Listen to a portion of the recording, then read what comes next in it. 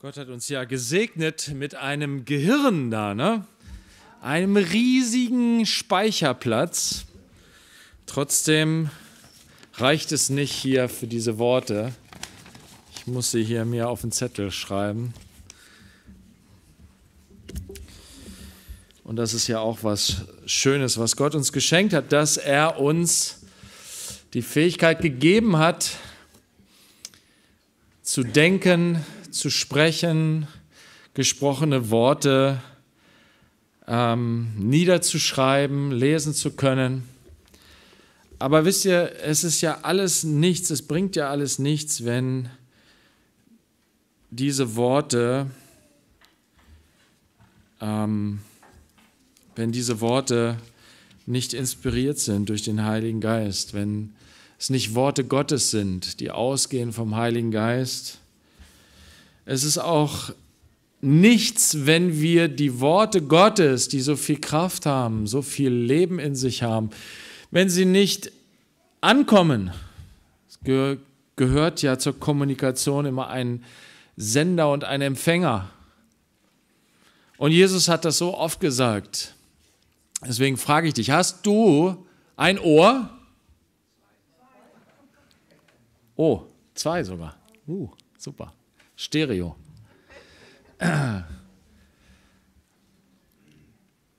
Es reicht schon eins. Wenn du ein Ohr hast, dann höre.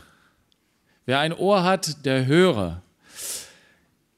In den Schreiben, in den Briefen, die Jesus Johannes diktiert hat an die sieben Gemeinden in der Offenbarung, heißt es in jedem Brief, Wer ein Ohr hat, der höre, was der Geist den Gemeinden sagt. Gott möchte zu dir und mir sprechen, zu uns als Gemeinde. Wir sind seine Gemeinde, wir gehören ihm. Wir sind seine Kinder durch, den, durch das, was Jesus getan hat und durch den Glauben an ihn sind wir seine Kinder. Du bist Gottes geliebtes Kind. Er möchte zu dir sprechen, er möchte zu uns sprechen. Er hat uns Ohren gegeben. Aber noch mehr, er hat uns seinen Geist gegeben, durch den wir das empfangen können, was vom Geist ausgeht. Der Heilige Geist spricht nicht nur durch das Wort, was er inspiriert hat, sondern er spricht auch durch Menschen, die er mit seinem Geist erfüllt hat. Und er spricht auch in unserem Herzen, wenn du den Heiligen Geist empfangen hast und Kind Gottes geworden bist, so wie Paola das vorhin erzählt hat. Denn du kannst hier in diese Gemeinde kommen, du kannst vielleicht auch schon lange kommen. Bist schon oft in diese Gemeinde gekommen oder schon in alle möglichen anderen Gemeinden gegangen. Hast dir schon oft die Predigt angehört, hast schon oft das Wort Gottes gehört, aber bist dennoch, so wie Paola das beschreibt, nicht von neuem geboren, hast den Heiligen Geist nicht empfangen, kennst Gott eigentlich gar nicht wirklich. Du hast nur etwas gehört, verstanden, weißt vielleicht etwas über Gott. Die wunderbare Botschaft heute Morgen von Paola ist, das muss nicht so bleiben. Du kannst Gott persönlich kennen. Du kannst tatsächlich eine erfüllte Beziehung mit ihm haben. Du kannst sein Kind werden, du kannst seinen Geist empfangen. Und dann ist dieses Wort, was ich hier vorne predige, wenn du, wenn du hier sitzt und du hast den Heiligen Geist, dann ist das bla bla. Aber durch den Geist Gottes hörst du aus meinem bla bla seine Stimme. Da hörst du Worte, die dich ansprechen, die dich rufen, die dich ziehen, die dich ermutigen, die deinen Glauben stärken, die dich herausfordern vielleicht auch, die dich zur Umkehr rufen. Und darum geht es hier am Anfang in Kapitel 29 von den Sprüchen. Das ist ein herausfordernder Spruch ganz am Anfang hier von Kapitel 29. Ein Mann, der trotz Ermahnungen halsstarrig bleibt, wird plötzlich zerschmettert werden ohne Heilung. Das ist ein furchtbares Bild, was uns hier vor Augen geführt wird. Ein Verkehrsunfall. Einer ist mit 180 Sachen gegen Baum gerast.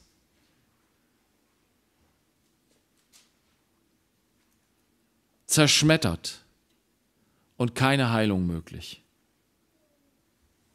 Keine, keine Rettung möglich. Die, ähm, die Retter, die kommen, der, der, der Notarzt, der kommt, er kommt umsonst. Es ist keine Heilung möglich. Zerschmettert. Und Salomo führt uns dieses Bild vor Augen und vergleicht es mit einem Mann, der trotz Ermahnungen halsstarrig bleibt. Und dieses halsstarrig sein, das ist nicht einfach nur einen steifen Nacken haben, so, ne, wenn du morgens aufwachst und hast dich irgendwie verlegen und ah, oh, ui, oh. Weißt du, jemand, der einen steifen Nacken hat, der kann trotzdem sehr beweglich sein und sehr flexibel auf die Stimme des Heiligen Geistes reagieren. Aber jemand, der sein, seinen geistlichen Nacken hart gemacht hat und gesagt hat, ich will nicht auf Gott hören. Der rennt ins Verderben. Ja, ich habe es in der letzten Zeit ab und zu mal so deutlich gesagt, ich sage es auch heute nochmal wieder deutlich, der fährt zur Hölle. Und die Hölle ist kein Spaß. Da ist nicht Party ohne Ende, sondern da ist Schmerz und Leiden ohne Ende. Da ist Gottes Ferne, denn Gott ist Liebe, Gott ist das Leben, Gott ist alles Gute. Und wer das Gute nicht will, wer die Liebe nicht will, wer das Leben nicht will, der fährt zur Hölle und bleibt dort. Gott ruft und sagt, komm doch zu mir. Ich bin die Quelle des Lebens. Komm doch zu mir. Ich bin die Quelle der Liebe. Komm doch zu mir. In mir findest du alles Gute. Alles, was gut und vollkommen ist in dieser Welt, das kommt von Gott. Wenn du es nicht glaubst, dann glaub was anderes. Aber ich werde dir sagen, du wirst mit dieser Quelle, wenn du so stirbst, wirst du nie in Ewigkeit, du wirst getrennt sein von der Quelle allem Guten, alles Guten. Deswegen, kehre um, mach deinen Nacken nicht hart, entspann dich. Werd locker, okay? Werd locker. Und höre doch den Ruf. Lass dich doch ziehen von der Liebe. Der Vater sagt, hey, ich habe alles für dich, ich habe alles für dich gegeben. Was du auch immer in deinem Leben für Bockmist gemacht hast, dir ist vergeben. Es ist alles bezahlt. Der Sohn hat bezahlt dafür am Kreuz von Golgatha. Du brauchst nicht na, du, du kannst noch bremsen, du kannst noch umdrehen, du kannst noch wenden, du musst nicht gegen die Wand fahren. Es gibt noch eine Möglichkeit. Und das ist so schlicht und einfach. Paula hat gesagt, ich habe angefangen, Gott zu suchen. Wie geht das? Schlicht und einfach zu beten schlicht und einfach zu fragen, Gott, ich weiß eigentlich gar nicht, wer du bist, ich möchte dich kennenlernen, ich will dich erfahren, ich will dich kennenlernen, ich will verstehen, ich will begreifen, wer du bist und was du für mich getan hast. Bitte offenbare dich mir. Und wenn Gott dann zu dir spricht, dann höre, dann folge ihm, vertraue ihm. Dadurch kommt diese Kraft in dein Leben, die dein Leben verändert, so wie Paula das beschrieben hat, die dein Leben neu macht. Dadurch kommt Freude in dein Leben, trotz schwieriger Lebensumstände, trotz Leiden, trotz Nöte, trotz Herausforderungen. Es kommt eine tiefe Freude in dein Leben. Es kommt die tiefe Gewissheit, dass du geliebt, angenommen bist, dass du ewiges Leben hast. Dass all das, was in diesem Leben ist, nicht alles ist. Mach doch deinen Nacken nicht hart gegen die frohe Botschaft, dass du ein geliebtes Kind Gottes bist und dass Gott mit dir verbunden sein möchte in Ewigkeit. Wir lesen weiter in Kapitel 29, Vers 2. Wenn die Gerechten zahlreich sind, freut sich das Volk. Wenn aber ein Gottloser herrscht, seufzt das Volk. Wir haben das schon oft gelesen, man kann sich das gut vorstellen, aber ich möchte es mal auf eine ganz spezielle Weise auslegen. Wir haben auch öfter darüber gesprochen, wenn vom Gerechten und den Gottlosen die Rede ist, ist nicht nur, sind nicht nur die guten Menschen und die bösen Menschen gemeint, sondern ich in mir. Paulus sagt, in mir gibt es einen Kampf zwischen Fleisch und Geist. Ich als Kind Gottes, ja, ich habe den Heiligen Geist empfangen. Mein Geist ist lebendig geworden. Ich liebe Gott. Ich liebe seine Gebote. Ich freue mich an all dem Guten. Ich folge Jesus nach. Aber da gibt es noch etwas in mir. Eine alte Kraft. Der alte Adam. Das Fleisch, mein altes Ich, was diese alten Wege gewohnt ist, ohne Gott zu gehen was sich Gott nicht unterordnen will, der alte, halsstarrige Gottlose in mir. Und deswegen, wenn wir diesen guten Kampf des Glaubens kämpfen und unser Fleisch gekreuzigt sein lassen, immer wieder uns dafür öffnen, Heiliger Geist, übernimm du. Brich du durch mit deiner Liebe, mit deinem Wesen, mit, mein, mit deinem Charakter in meinem Leben. Ich möchte, dass du mich bestimmst. Was passiert dann? Dann lebt Christus im Glauben in mir, durch mich hindurch sein Leben. Er gebraucht mein Leben als Werkzeug zur Gerechtigkeit.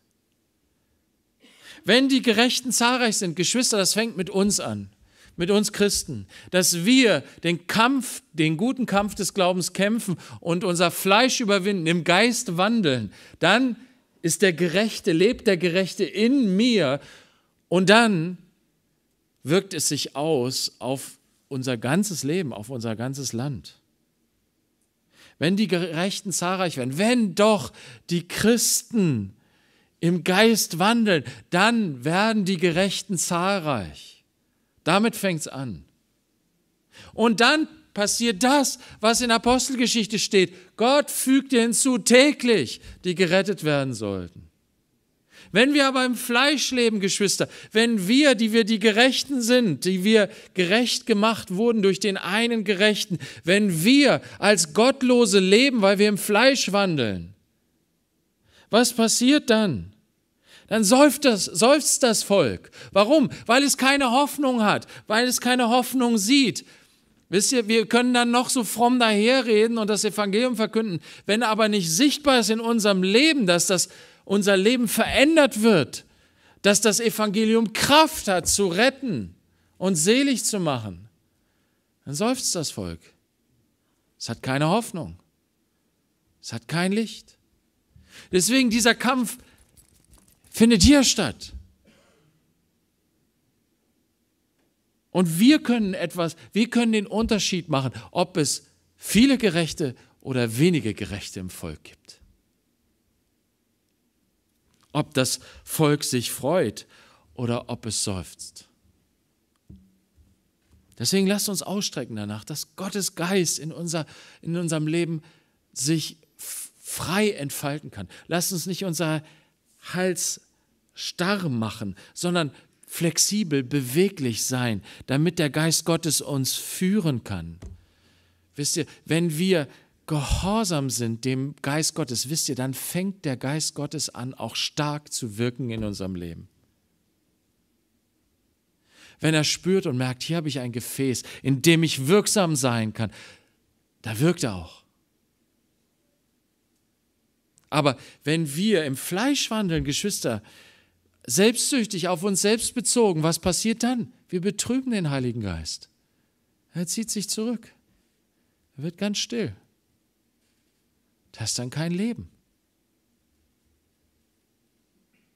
Da sind wir, na, wie, wie Jesus zu einer Gemeinde sagt, ihr habt den Namen, dass ihr lebt, aber ihr seid tot. So soll es nicht sein, Geschwister.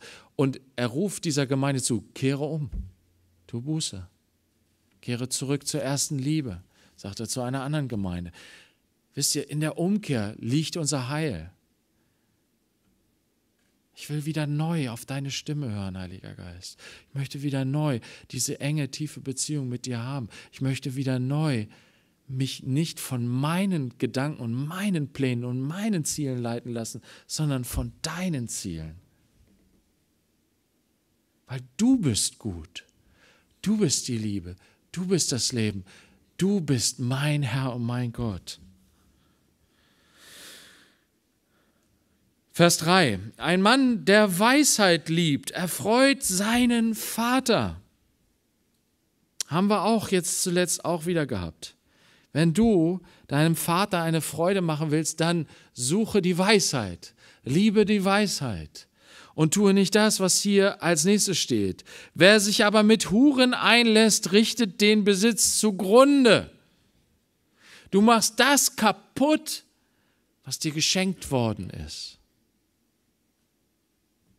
David hat es getan.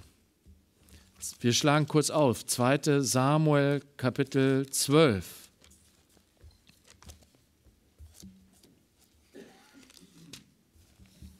Er ist faul und bequem geworden, hat andere für sich kämpfen lassen und hat aufgehört, den guten Kampf des Glaubens zu kämpfen. Und was ist geschehen?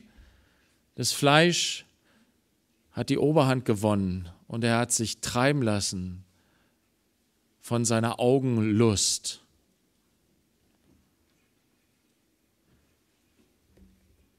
Hat eine Frau gesehen beim Baden von seinem Dach aus. Ein Spanner. Guckst du noch Pornos? Du bist ein Spanner. Sorry, dass ich das so krass sage. Und es passiert das, was in Davids Leben passiert ist. All das, was Gott dir Gutes geschenkt hat, du machst es kaputt. Kehre um davon. Du musst das nicht durchexerzieren wie David. Was hat David getan? Er hat sich diese Frau holen lassen. Er hat es mit ihr getrieben. Und als sie dann schwanger wurde, hat er ihren Ehemann umbringen lassen. Und alles war gut und schön. Keiner hat irgendwas gesagt. Er hatte so seine Leute, die haben es für ihn erledigt. Unheimlich loyal. Wisst ihr, Loyalität ist was Wunderbares, was Gutes.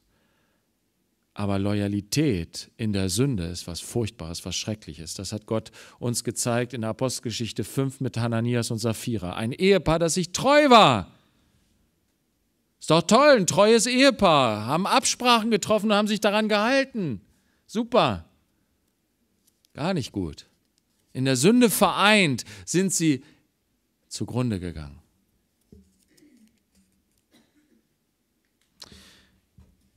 Aber Davids Herz war trotz aller Sünde ein Herz, was Gott geliebt hat. Und deswegen hat Gott Nathan gesandt, einen alten Kumpel. Und Nathan hat sicherlich gedacht, Gott, ich will das nicht. Das wird heftig. Aber er ist gegangen. Und er ist zu David gegangen und hat ihn konfrontiert. Auf eine ganz spezielle Art und Weise. Er hat ihm so eine schöne Story erzählt ne, von so einem reichen Mann, der seinen armen Nachbarn sein kleines Lämmlein, das Liebste, was er hatte, weggenommen hat, es geschlachtet hat für seine Freunde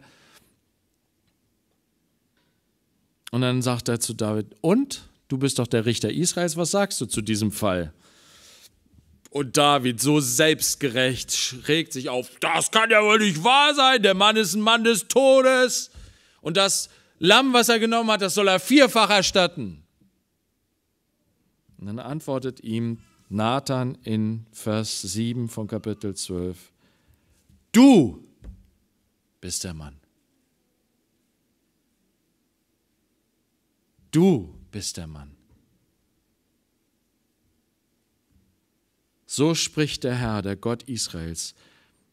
Ich habe dich zum König über Israel gesalbt, und ich habe dich aus der Hand Sauls gerettet, und ich habe dir das Haus deines Herrn gegeben und die Frauen deines Herrn in deinen Schoß, und habe dir das Haus Israel und Juda gegeben. Und wenn es zu wenig war, so hätte ich dir noch dies und das hinzugefügt. Ich habe dich zu meinem Kind gemacht, sagt Gott. Ich habe dich zu einem Königskind gemacht. Ich habe dich aus der Hand Satans gerettet, aus den Klauen der Sünde habe ich dich herausgerettet. Und ich habe dich reich beschenkt mit einer Familie, mit einem mit einer segensreichen Gemeinschaft in der Gemeinde. Und wenn das noch zu wenig ist, ich gebe dir noch mehr, ich pack noch was oben drauf. Soll es noch ein bisschen mehr sein?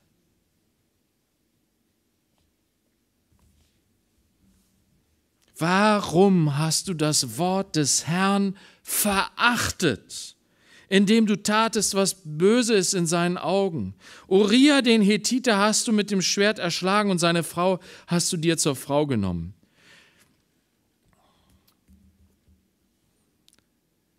Du bist so reich gesegnet. Wir sind so reich gesegnet, Geschwister. In Christus haben wir alles. Paulus sagt es, in Römer 8 sagt wenn Gott das Kostbarste, seinen Sohn uns gegeben hat, wie wird er uns mit ihm nicht alles schenken? Wir sind so reich gesegnet, Geschwister.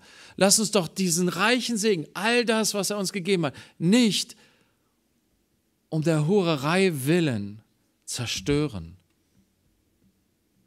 Um der, des kurzen Genusses der Sünde willen zerstören, was auch immer es sein mag.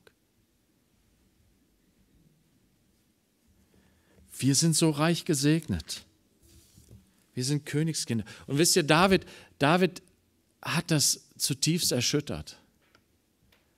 Und Gott hat ihm gesagt, du bist, du hast dein eigenes Urteil gesprochen, du bist ein Mann des Todes.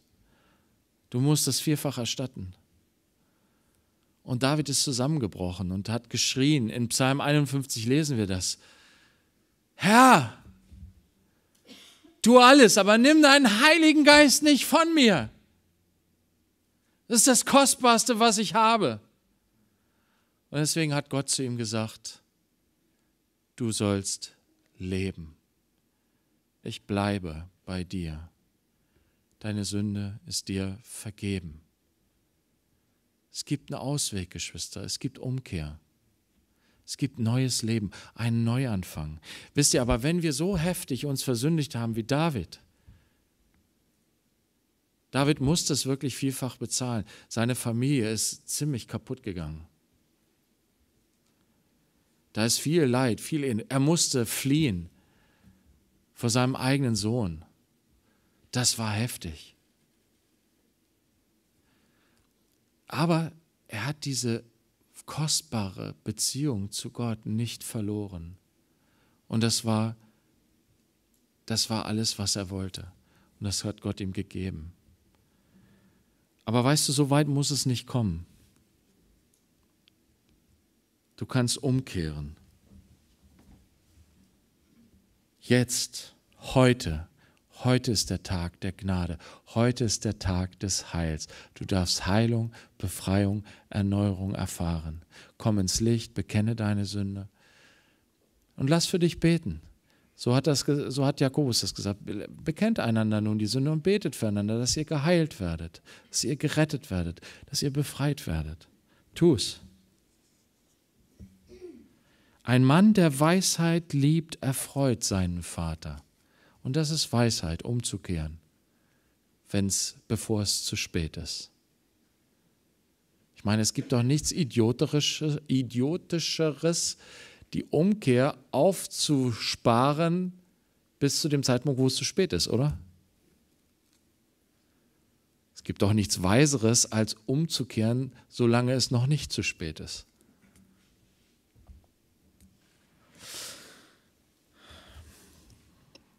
Zurück zu Sprüche 29,4. Ein König gibt durch das Recht dem Land Bestand. Aber wer nur Abgaben erhebt, zerstört es. Interessanter Vers, ein politischer Vers. Ähm, wir waren ja in Italien mit unseren Brüdern aus äh, Italien, Frankreich, äh, Rumänien. Ja, es waren auch, eine Menge von denen waren Amerikaner. Ne? Die sind ja die ganz schlimmen. Ne? Und wenn du anfängst, über Politik zu reden, oha, da merkt man, wie weit man auseinander ist. Was für unterschiedliche Prägungen man hat. Das ist wirklich krass. Na, und ganz, das ganze Thema Steuern und Abgaben. Ne? Ähm, ich habe so ein bisschen mal nachgestöbert. Laut einer von den Vereinten Nationen veröffentlichten Studie gehört Deutschland zu den Ländern mit der höchsten Bereitschaft, durch Steuern öffentliche Güter zu finanzieren. Man muss sich das manchmal klar machen, wie man geprägt ist. Wir denken ja immer, wir Deutschen, ja, das ist alles so, so lebt man als Mensch. So denkt man als Mensch, so macht man das als Mensch. Und wir Deutschen, wir sind ja unheimlich stolz auf unsere Demut. Aber wir sind ja unheimlich stolz drauf, weil wir packen es ja. Wir sind ja gut. Wir kriegen das hin. Wir kommen immer durch die Krise. Wir sind immer ne, oben an. Wir sind erfolgreich. Dann muss es ja richtig sein, wie wir es machen. Na? Und wir fallen in die Falle hinein, unser Handeln nur daran zu messen, ob wir erfolgreich sind. Wisst ihr, aber eigentlich in dieser Welt funktioniert Erfolg durch das Recht des Stärkeren. Wenn du in dieser Welt erfolgreich bist, dann ist das oft eher ein schlechtes Zeichen. Ja, Gott kann dir Erfolg geben in dieser Welt, obwohl du auf seinem Weg gehst. Aber ich sage dir, das ist nicht der Normalfall. Jesus ist in diese Welt gekommen, ist den Weg Gottes von Anfang bis zum Ende gegangen. Und wo ist er geendet? Am Kreuz von Golgatha. Wer hat ihm diese Möglichkeit geboten, erfolgreich zu sein, der Teufel. Hier sind alle Reiche der Welt. Ich gebe sie dir, bete mich an. Dann bist du erfolgreich. So, wenn es jetzt hier um Steuern und Abgaben geht, ne, wir glauben als Deutsche, sagt uns diese Studie, nicht jeder Deutsche, aber so, das ist so die allgemeine öffentliche Meinung. Viele Menschen glauben das, denken das, dass öffentliche Aufgaben, Aufgaben unserer Gesellschaft am besten dadurch ähm, bearbeitet werden, dadurch, dass wir alle unsere Steuern zahlen, unsere Abgaben zahlen. Aber ist das wirklich so? Muss das wirklich so sein? Oder was bewirkt das? Ich habe mal nachgeguckt. Ähm, es ist so, dass in Deutschland sehr viel von unseren Steuern für Soziales verwendet wird. Wir nennen das dann den Sozialstaat. No? Ne? Es gibt andere Länder, wo das noch intensiver betrieben wird. Das Ganze ist aber nicht immer so gewesen. Das ist ja erst seit 150 Jahren gibt es eine Krankenversicherung. Ne? Vorher gab es das nicht. Und wir sind immer so stolz drauf und sagen, ey, die Amerikaner, die sind so, so idiotisch, dass die so gegen eine Krankenversicherung sind und so weiter. Ne? Und klar hat das was für sich. Es sind ne, man kann das so machen, aber ich frage mich, okay, was bewirkt es unter uns, dass wir eine Krankenversicherung haben, eine Rentenversicherung, eine Pflegeversicherung, wir haben die Arbeitslosenversicherung und wir zahlen jeder ständig da Abgaben für. Wir zahlen unsere Steuern, wir zahlen alles. Aber was bewirkt es in uns? Viel, ja, für manche Sicherheit. Aber jetzt frage ich dich, wenn du dann so super krankenversichert, rentenversichert und so weiter, wie du bist und ich auch bin, wenn wir dann im, Kranken im Altenheim liegen, im Pflegeheim, im Krankenhaus und keiner besucht uns und die völlig überlasteten Pflegekräfte machen nur das Allernötigste. Was ist da gewonnen? Es ist alles bezahlt. Du hast die besten technischen Möglichkeiten. Ne? Aber die Liebe, wo ist die Liebe? Das, was vorher das soziale Sicherungssystem war, war die Familie, die Dorfgemeinschaft, die Kirchengemeinde.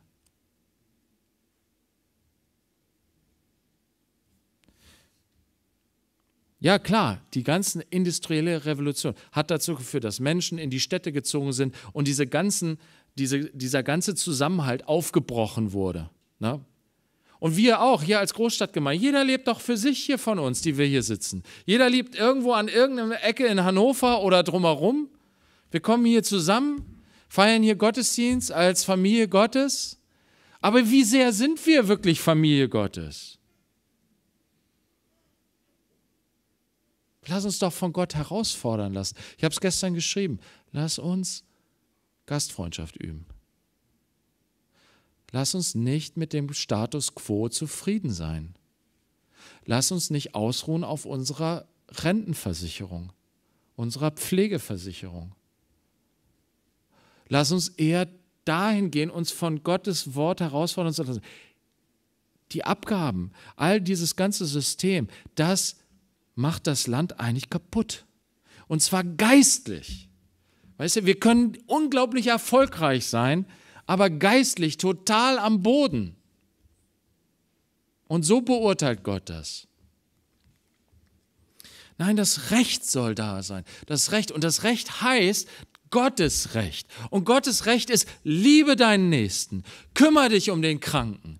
Lass es nicht die Krankenversicherung, lass es nicht die Profis machen, mach es selber. Jesus sagt, besuche die Armen, besuche die Kranken, speise die Hungrigen, mach du es. Lass es nicht andere machen. Und wisst ihr, Geschwister, wie gesagt, wir leben in diesem System und das System ist so, wie es ist und es hat ja auch seine positiven Seiten. Aber lass uns bitte, be, lass uns beten darum, ringen darum, dass dieser Geist des, ja, da wird sich ja schon drum gekümmert muss ich mich nicht drum kümmern. Lass uns bitte davon reinigen. Ja, auch wenn sich gekümmert, lass uns trotzdem uns kümmern. Lass uns uns trotzdem hingeben. Lass uns trotzdem Menschen dienen. Lass uns zusammenrücken. Lass uns in der Liebe leben.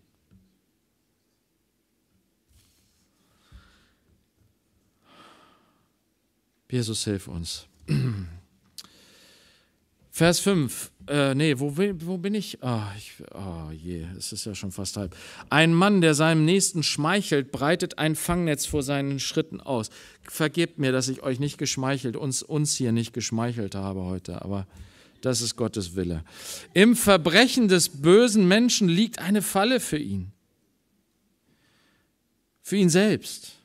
Aber der Gerechte jauchzt und ist fröhlich. Freude. Wisst ihr, Jesus liebt uns. Er hat uns alles geschenkt. Wir können uns freuen. Lass uns freuen und fröhlich sein über das Gute, was Gott uns schenkt. Lass uns ihn loben und preisen in allem. Der Geist Gottes jubiliert. Na, über Jesus heißt es an einer Stelle, der Herr jubelte im Geist. Worüber hat er gejubelt? Ah, dass die Unmündigen, die, die, die Armen, die Schwachen, die irgendwie beschränkt sind, dass die es erkennen, dass Gott sie liebt. Und dass die Weisen, die so, ach so klugen, selbstgerechten, die checken es nicht. Darüber hat Jesus gejubelt.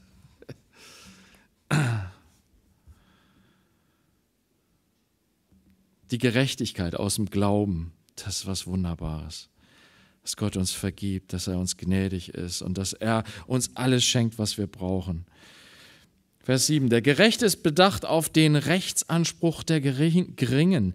Der Gottlose versteht sich nicht auf Erkenntnis. Das kann man auch äh, übersetzen. Der Gerechte ist, äh, der Gerechte berücksichtigt das Recht der Armen. Der Gottlose ist rücksichtslos. Rücksicht nehmen, den Schwachen sehen und sich für ihn einsetzen, das ist, was Gott sich wünscht. Das ist das, was Christus gemacht hat. Der Gerechte. Das ist der Gerechte in uns, der das tun möchte. Folge diesem Gerechten. Spötter versetzen eine Stadt in Aufruhr, Weise aber wenden den Zorn ab. Dazu passt auch Vers 11. Seinen ganzen Unmut lässt der Tor herausfahren, aber der Weise beschwichtigt ihn zuletzt.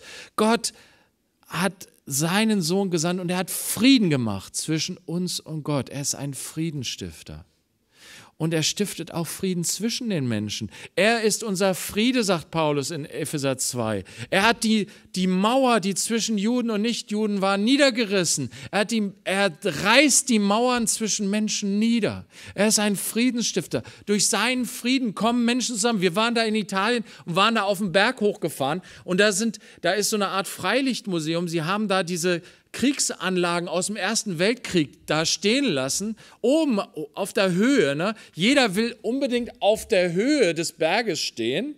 Und dann haben sie da ihre Schießscharten in den Stein reingemeißelt und äh, haben äh, Höhlen, sind da Höhlensysteme, da kannst du da so rumlaufen, da haben sie auch noch so eine, so eine Hütte von Offizieren wo die dann da übernachten. Äh, na, das ist echt da ganz cool gemacht. Und da sind wir da oben drauf, drauf rumgeklettert. Und ja, im Ersten Weltkrieg, die Italiener haben versucht, da die Österreicher in Schach zu halten. Und jetzt klettern wir, Italiener, Österreicher, Deutsche, Franzosen, Amerikaner, und alles Feinde aufs Blut haben sie sich bekämpft da, um oben zu sein. Wenn, wenn du oben bist, dann kannst du schön runterschießen. Dann hast du alles im Blick. Wunderbarer Blick da von diesen Bergen da rundum. Wisst ihr aber, wenn wir Christus, unseren König sein lassen, wenn wir ihn erheben auf die Spitze des Berges, dann sind wir als Völker vereint. Er ist der Friedefürst. Er schafft Frieden, wahren Frieden zwischen den Völkern. Und er möchte, dass wir auch Friedensstifter sind, Streitschlichter. Wir sollen nicht die sein, die ihren Zorn, un, ihren Unmut rauslassen, sondern wir sollen die sein, die Frieden herbeiführen. Das ist Weisheit. Vers 9. Tritt ein weiser Mann mit einem närrischen Mann vor Gericht, tobt er und lacht, aber es gibt keine Ruhe. Blutmenschen hassen den Unschuldigen, aber die Aufrichtigen suchen das Beste für sein Leben. Vers 12. Ein Herrscher, der auf Lügenreden achtet, dessen Diener sind alle gottlos. Lass uns beten, dass unser kommender Kanzler oder Kanzlerin, wer es auch immer sein wird, doch so weise sein möge, sich Berater zu suchen, die nicht lügnerisch reden, Lügenrede führen, sondern aufrichtig sind. Vers 13. Der Arme und der Unterdrücker begegnen sich, der ihrer beider Augen hell macht, ist der Herr. Das ist ein skandalöser Vers. Na, wir haben oft gehört, dass das Evangelium den Armen verkündigt wird, den Unterdrückten. Und ja, Gottes Herz geht aus zu denen, die erniedrigt werden. Und er ist denen nahe, die zerbrochenen Herzens sind. Wie kann es dann hier heißen, dass Gott die Augen hell macht des Unterdrückers? Jesus selbst hat es gelehrt, Matthäus 5. Ich muss leider gnadenlos überziehen, wir sind heute spät dran. Ähm, aber einen Augenblick Geduld müsst ihr noch haben. Matthäus 5, Vers 44. Ich aber sage euch, sagt Jesus, liebt eure Feinde und betet für die, die euch verfolgen, für eure Unterdrücker. Betet für sie. Sucht das Gute für sie. Warum? Damit ihr Söhne, Kinder eures Vaters seid, der in den Himmeln ist. Dadurch erweist ihr euch als Gottes Kinder. Denn er lässt seine Sonne aufgehen über Böse und Gute und lässt regnen über Gerechte und Ungerechte. Gott ist gut zu den Unterdrückern. Wie kann das nur sein? Es kann sein, weil 1 Timotheus 2, Vers 4, Gott will, dass alle Menschen zur Erkenntnis der Wahrheit kommen und gerettet werden. Und weil die Güte Gottes, Römer 2, Vers 4, uns zur Umkehr treibt. So ist er gut zu allen Menschen, auch zu dem Unterdrücker. Als Beispiel nehmt euch die Geschichte von Saulus und Stephanus, beziehungsweise Stephanus und Philippus. Stephanus und Philippus waren Teil der Diakone der, der Gruppe von Diakonen in der Urgemeinde. Und Stephanus war ein vollmächtiger Prediger und äh, Apologet, wenn du so willst.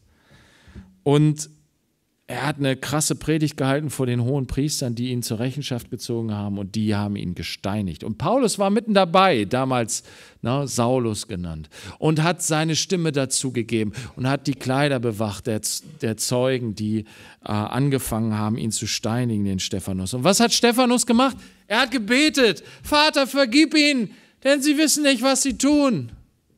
Wie sein Herr Jesus Christus hat er für seine Unterdrücker, seine Schlechter gebetet. Was ist passiert? Dieses Gebet wurde erhört. Christus erschien Paulus mitten auf dem Weg nach Damaskus, als er versucht, na, alle Christen irgendwie da zusammenraffen wollte und ins Gefängnis bringen wollte und noch Schlimmeres ihnen antun wollte. Ist Christus ihm begegnet und hat gesagt, Saul, was verfolgst du mich? Du bist ein Unterdrücker, aber ich will dich zu einem Diener der Gerechtigkeit machen. Und was hat er gemacht? Er hat es gemacht.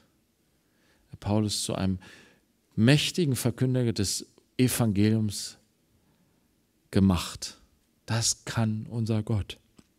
Kann einen Unterdrücker durch seine Güte und Gnade zu einem Menschen machen, der die Liebe verkündet und sein Leben hingibt für andere.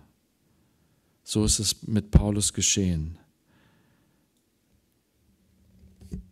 Der, der viele leiden ließ, musste selber sehr viel leiden und er hat es geliebt, weil er sagt, dadurch komme ich meinem Erlöser nahe. Dadurch erkenne ich ihn mehr. Wenn ich die Kraft seiner Auferstehung und die Gemeinschaft seiner Leiden mehr kennenlerne, so hat Gott ihn verwandelt. Er hat gesagt, die Gnade Gottes hat es getan. Sie hat mich verwandelt. So wie sie Paula, pa, pa, Paola verwandelt hat, so wie sie dich und mich verwandelt hat. Und wenn du es noch nicht erfahren hast, dann kann und will Gott es tun. Amen.